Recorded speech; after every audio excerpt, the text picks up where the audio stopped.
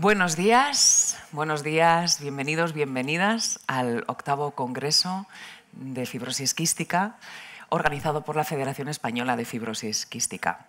Y por supuesto también eh, vamos a saludar a las personas que nos están siguiendo en streaming. Es un gusto poder hacerlo de forma presencial. La última vez tuvimos que hacerlo en online. Eh, en cualquier caso, el resultado fue tremendamente positivo. Pero siempre es un gusto poder eh, teneros aquí, teneros cerca y poder compartir y seguir aprendiendo sobre la fibrosis quística. El título de este congreso es Días de cambios, días de esperanza. Entonces, arrancar así la mañana, ¿verdad? Y el Congreso, pues, pues siempre da un extra de energía. Antes de nada, nos gustaría agradecer a la Asociación Navarra de Fibrosis Quística como asociación anfitriona y a nuestros colaboradores, Fundación 11, Vertex, Chiesi, Random Europe, Esteve Teillín, COCENFE, a la Sociedad Española de Fibrosis Quística y, por supuesto, al Ayuntamiento de Pamplona y al Gobierno de Navarra. No estoy sola, como veis estoy muy bien acompañada. Eh, voy a presentar, tenemos a Cristina Mondragón, a Juan da Silva, a Óscar Asensio y a Santos Indurain Orduna. Más adelante, además, también tendremos el placer de escuchar las palabras de Carolina Darias, pero les voy a ceder, por supuesto, la palabra. Comenzamos con Cristina Mondragón, presidenta de la Asociación Navarra de Fibrosis Quística. Muchísimas gracias, Cristina. Gracias a vosotros por la oportunidad. Buenos días, Eguno. En primer lugar, agradecer a todas las personas que nos acompañan en este congreso, ponentes, autoridades profesionales, familias, pacientes, personal investigador y medios de comunicación. Y gracias, como no, a quienes me acompañan en este acto de apertura. Juan da Silva, presidente de la Federación Española de Fibrosis Quística, el doctor Oscar Asensio, presidente de la Fundación Española de Fibrosis Quística, Santos Indurain, consejera de Salud de Navarra, y la ministra de Sanidad, que lo hará vía vídeo. Un congreso que regresa a su formato presencial con más fuerza que nunca y que supone un espacio único en el que compartir experiencias, conocimientos, buenas prácticas, consejos, novedades en el tratamiento. Por ello, muchísimas gracias por elegir a Pamplona y a la Asociación Ahorra de Fibrosis Quística como anfitriona. Es un placer y un honor, más aún cuando este congreso llega en un momento especialmente ilusionante para todos y todas. De ahí el lema de días de cambios, días de esperanza. Porque se ha abierto la puerta a la esperanza para todo el colectivo de fibrosis quística. Gracias a la investigación que se ha llevado a cabo en la última década y a un empuje común de pacientes, familias, asociaciones y profesionales sanitarios, muchas personas han conseguido acceder a medicamentos capaces de frenar la enfermedad. Personas que han pasado no de no poder ir a comprar un pan porque se tenían que sentar por el camino, a poder pasear con su familia. Que han pasado de no poder reírse sin sufrir un interminable ataque de tos, a poder hacerlo con libertad. Que han pasado de tener constantes infecciones respiratorias a poder hacer una vida más normalizada, evitando el tan temido trasplante pulmonar. Pero todavía hay un 30% de personas que no se pueden beneficiar de estos tratamientos, que además siguen sin llegar a los pacientes más pequeños a día de hoy. Por eso insistimos en el papel de la investigación y en que los nuevos tratamientos lleguen pronto a nuestros pacientes y no tengamos que esperar meses o años por la burocracia y por cuestiones económicas. Porque la salud no tiene precio o no debería tenerlo. Y no es único reto al que nos enfrentamos. Potenciar las unidades de referencia. Crear registros fiables de personas afectadas son otros retos que tenemos que cumplir. Porque como decíamos recientemente en la campaña de COCENFE, que es la que estamos desarrollando ahora, que es Invisibles, las personas con fibrosis quística existimos, porque una apariencia sana a ojos de los demás no evita los problemas y la falta de igualdad que vivimos a nivel médico, personal, académico y laboral. Por todo ello, el largo camino que hemos emprendido asociaciones de personas con fibrosis quística, administraciones, farmacéuticas, personal sanitario, no puede cesar. De la mano hemos conseguido grandes logros en el pasado y en el presente. Hemos conseguido que la esperanza haya llegado a muchas familias y no vamos a parar hasta que esa esperanza llegue a todos y todas. Y por último, reiterar nuestro agradecimiento por vuestra presencia y animaros a disfrutar de estos dos días tan especiales. Es que ricasco. Un aplauso, por favor.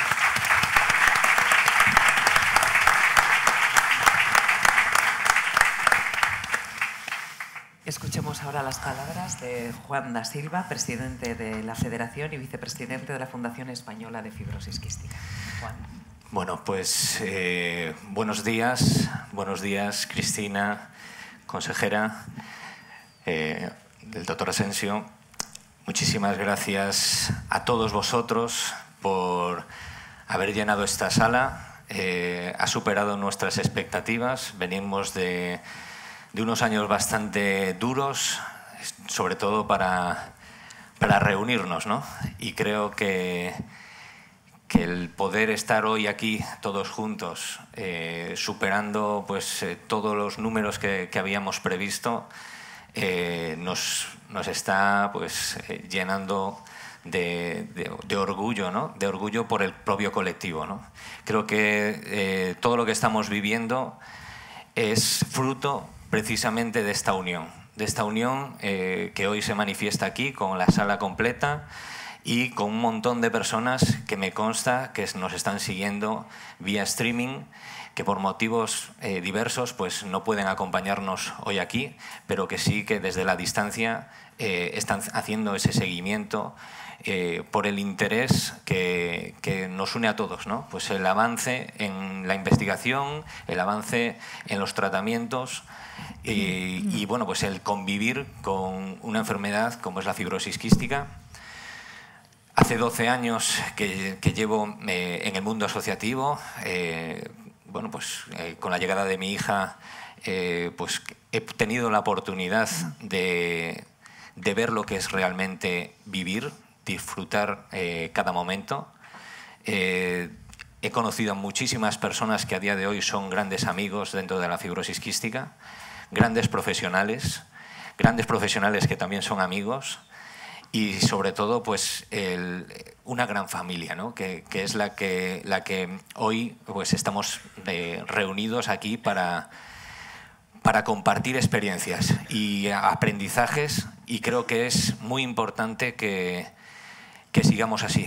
Eh, ha sido clave el hecho de que podamos eh, tener a disposición tratamientos innovadores que eh, bueno, pues somos la envidia sana de muchas patologías minoritarias que a día de hoy pues tienen esas alternativas y que no disponen de ellas en España.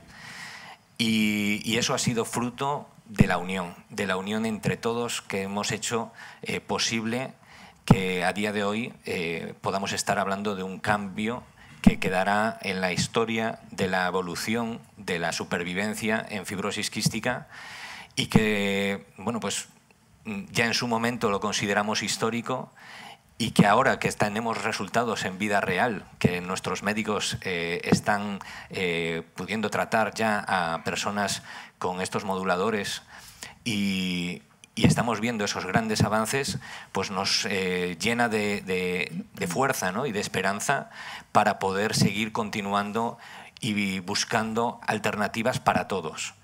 Hemos conseguido dar un paso muy importante que va a cambiar eh, o que está cambiando ya eh, la vida de muchas personas, pero no nos queremos olvidar de que este cambio eh, no ha llegado a todo el mundo y tenemos que seguir trabajando para que todo el mundo pueda verse beneficiado y tener una mejor calidad de vida, que es lo que todos creemos que, se merecen las personas con fibrosis quística. Como bien decía Cristina, la fibrosis quística es algo invisible. Eh, es algo invisible, pero nosotros la estamos haciendo visible. Hemos hecho acciones eh, conjuntas de visibilización, de sensibilización que han ayudado a la toma de decisiones. Es muy importante que, la toma de decisiones a nivel político eh, sea clara, porque muchas veces se tiene una visión de, pues, a lo mejor desvirtuada precisamente por esa invisibilidad que, genera eh, una enfermedad orgánica como es la fibrosis quística. conseguimos una declaración institucional que ha sido histórica en España en el Congreso de los Diputados algo que ha costado muchísimo esfuerzo convencer a todos los grupos políticos que se pusieran de acuerdo en, algo tan importante como es eh, la fibrosis quística. Y, la verdad es que estamos orgullosos de, haber conseguido eh, dar ese paso en el Congreso de los Diputados. Y eh, hemos conseguido también, después de una pandemia que nos ha encerrado a todos en casa, el poder eh, llegar también a, los políticos que, que, al final están tomando las decisiones que nos permiten el tener disponibilidad de estos tratamientos en plena eh, bueno, pues, pandemia. Eh, hemos podido entrar en el Congreso de los Diputados a explicar lo que es vivir con la fibrosis quística.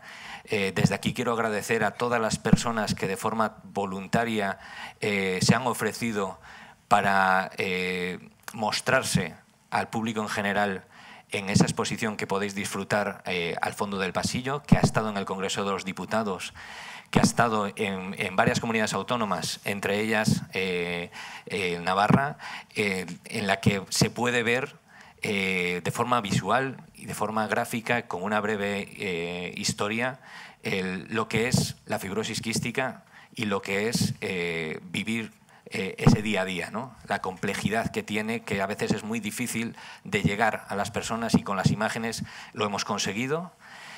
Y, bueno, pues hemos tenido grandes oportunidades de, dar esos pasos para que la toma de decisiones para los moduladores, la triple terapia, sea hoy una realidad para mayores de 12 años. Y estamos trabajando para que esa eh, triple terapia llegue eh, cuanto antes a los niños. Y esperamos que bueno, pues podamos tener este, esta noticia eh, bueno, pues muy pronto. Sin más, no quiero eh, entreteneros más. Eh, la verdad es que me emociona volver a ver la sala llena, volver a ver a gente que hacía muchísimo tiempo que solo la veía por streaming, por Zoom o por teléfono. Y la verdad es que, que bueno, pues mm, vamos a tener un fin de semana intenso en donde vamos a tratar, creemos que todos los temas eh, que a día de hoy pues, eh, son muy interesantes a nivel de avances y a nivel de, de, ese cambio que va a generar los moduladores también, porque eso también es algo que tenemos que tener presente. Y bueno, pues muchísimas gracias a todos y bueno, pues darle la palabra al doctor Oscar Asensio. Bueno, un fuerte aplauso, por favor. Mm.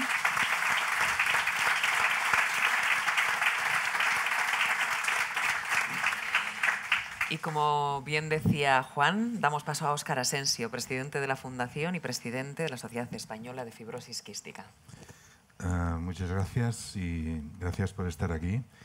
Ah, es para mí un placer y un, honor como presidente de la Sociedad Española de Fibrosis Quística y de la Fundación estar y participar en, este octavo congreso de, de, la Federación. Un congreso como, con el lema y con el contenido que tiene, días de cambios, días de esperanza, que habla por sí solo. Un excelente programa que, aborda los temas más importantes de esta nueva época de la fibrosis quística, una época donde por fin las personas con, fibrosis quística empiezan a ver la luz al final de, su túnel. Querría eh, aprovechar este momento para dar las gracias a todas las asociaciones de pacientes, regionales, autonómicas, que junto con la Federación están realizando un magnífico trabajo sin el cual muchos de los hitos que hemos conseguido pues, no hubiesen sido posibles o en todo caso mucho más retrasados en el tiempo. Juntos mejor. Debemos insistir en un modelo de éxito donde las asociaciones de pacientes, las sociedades científicas, la industria farmacéutica y la administración pública trabajen juntos colaborativamente. Juntos iremos definiendo la nueva fibrosis quística que se nos dibuja en el horizonte. Juntos no dejaremos de luchar para el tratamiento del 100% de los pacientes. Juntos seguiremos trabajando para agilizar la burocracia para que la innovación en las enfermedades graves degenerativas minoritarias tenga una aprobación prioritaria por la Administración. Juntos seguiremos trabajando para conseguir la definitiva curación de la enfermedad. Y nada más, muchas gracias. Buen congreso. Muchas gracias.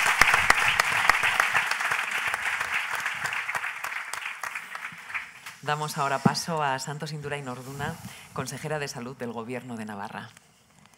Buenos días a todas y todos. Egunon de Noí. Bueno, lo primero, decir que es un gusto estar aquí, estar en este congreso, compartir esta mesa inaugural con Cristina Mondragón, con Juan da Silva, con Óscar Asensio. Coincido además en lo que habéis expresado de que el lema de este congreso me parece un lema acertadísimo, un lema que habla de esperanza y de una esperanza realista.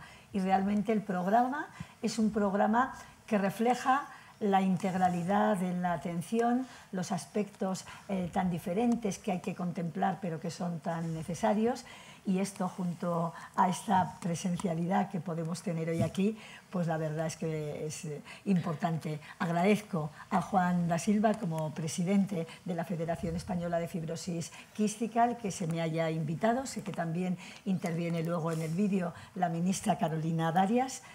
Y bueno, el agradecimiento a todas y todos ustedes por estar hoy aquí en este fin de semana y en una Pamplona que les recibe en un otoño luminoso.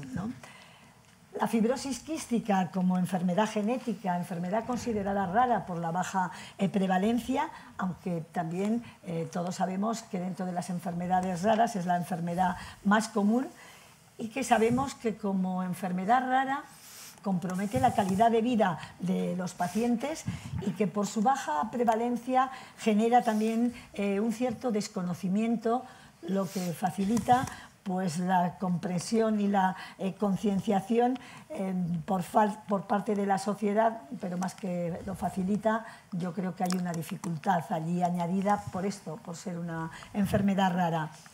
Sabemos por ello que es muy importante el que se actúe de una forma temprana y sobre todo de una forma multidisciplinar en equipos integrados por neumólogos, por pediatras, nutricionistas, digestivos, rehabilitadores y fisioterapeutas, psicólogos, porque realmente el ayudar a mejorar el estado nutricional, el prevenir las infecciones respiratorias, va a frenar el deterioro pulmonar.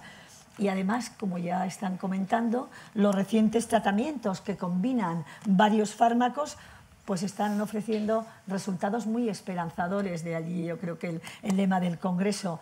Y mm, situándonos en Navarra, he de decir que en este momento hay seis pacientes que están accediendo a esta combinación de tres fármacos en un único medicamento bajo el nombre comercial de Caftrio, tratando la fibrosis quística y que realmente, como comentaban, y seguro que va a salir la mejora en la calidad de vida y en el curso clínico de esta enfermedad genética, pues la verdad es que eh, ha sido pues, eh, eh, novedoso y esperanzador.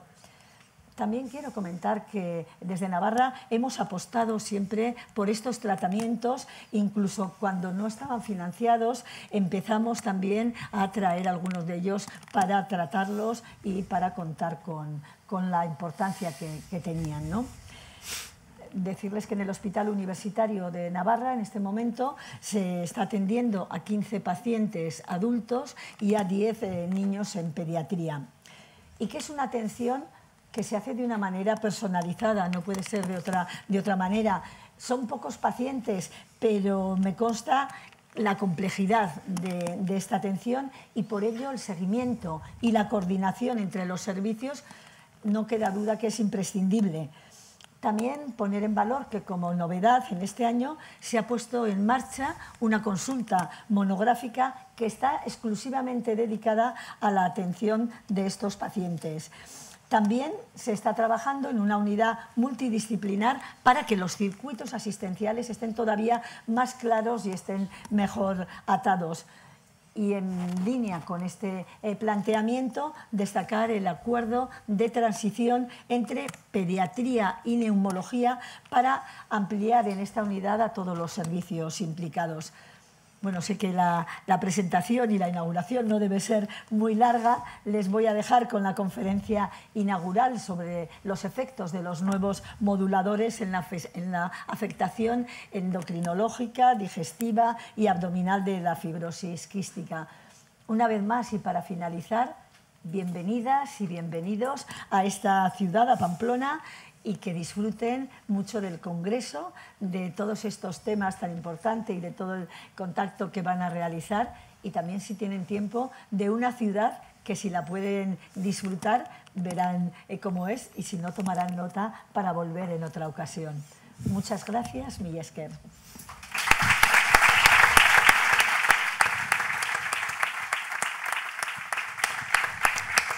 Millesker Zuriere. Y como hemos comentado antes, eh, la ministra de Sanidad, Carolina Darias, ha tenido la amabilidad de hacernos llegar también su testimonio, que escucharemos ahora mismo.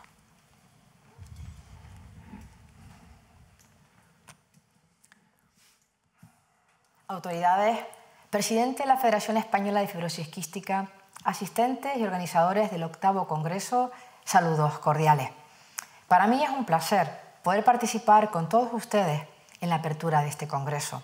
Me hubiera encantado estar ahí presencialmente, pero estoy en Santiago de Compostela, donde hemos celebrado una reunión presencial del Consejo Interterritorial del Sistema Nacional de Salud. Este encuentro que ustedes realizan es una buena oportunidad para compartir el camino que juntos hemos recorrido en el tratamiento de esta enfermedad. Días de cambio, días de esperanza. Me encanta el lema que han elegido para la celebración de este Congreso, que vuelva a recuperar la normalidad de la presencialidad en este caso en Navarra.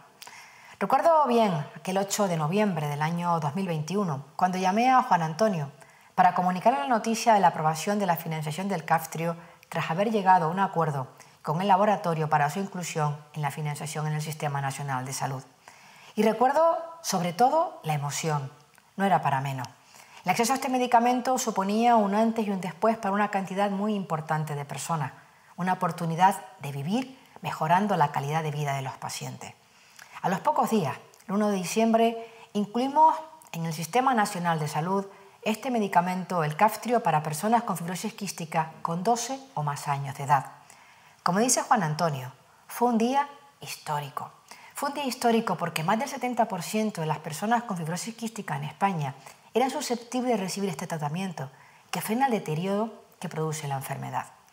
Desde entonces he tenido la oportunidad de intercambiar impresiones sobre cómo han cambiado las cosas, pero especialmente cómo ha cambiado la calidad de vida de los pacientes, que a las pocas horas de haber iniciado el tratamiento ya empiezan a notar los beneficios, bien en la función pulmonar, en los síntomas como la tos o la expectoración, que mejoran de forma sustancial. E incluso, incluso pacientes con afectación grave avanzada han salido de las listas de trasplante.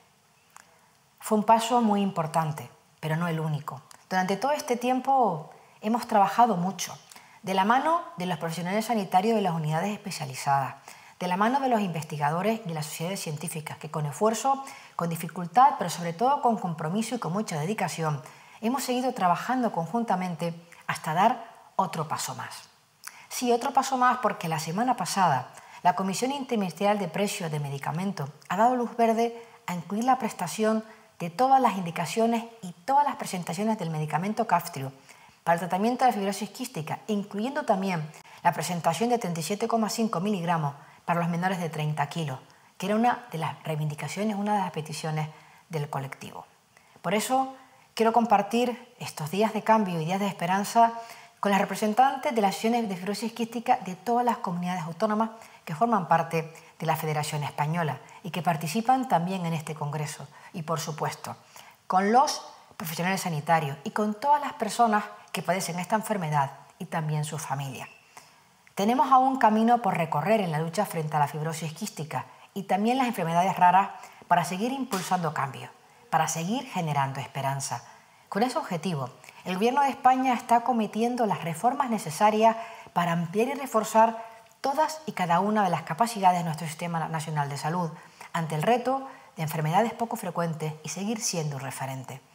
Hemos avanzado en medidas como el impulso al modelo de la Red Europea de Centros de Referencia, donde ya son 110 los centros y unidades de referencia, los conocidos como CESUR del Sistema Nacional de Salud, que además forman parte de las 24 redes europeas de referencia existentes.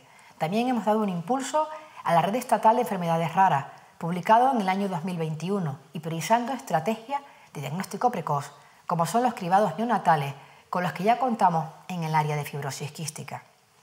La inclusión del CAFTRIO en la prestación del Sistema Nacional de Salud refuerza la estrategia del Ministerio de Sanidad en el apoyo y en la priorización de los colectivos más vulnerables, una determinación que ha permitido que ya en el año 2021 haya sido el año que más medicamentos huérfanos hemos financiado en el Sistema Nacional de Salud con cargo a fondos públicos. Y la nueva ley de garantía racional del medicamento en la que estamos actualmente trabajando para que pronto sea una realidad, va a permitir reforzar todo ese trabajo y mejorar el ecosistema farmacéutico en nuestro país en beneficio de todos los pacientes. No quisiera finalizar sin agradecer a la Federación su empuje y su tesón para mejorar la vida de los pacientes y sus familiares. Gracias por seguir generando foros claves como este que abordan cuestiones muy importantes para el Ministerio, como los efectos nuevos moduladores, los nuevos avances en I+D o la salud mental en los pacientes con fibrosis quística. Estaremos muy pendientes de las conclusiones, que seguro serán de gran utilidad para seguir encontrando días de cambio y días de esperanza. Muchas gracias y reciban un fuerte abrazo y buen congreso.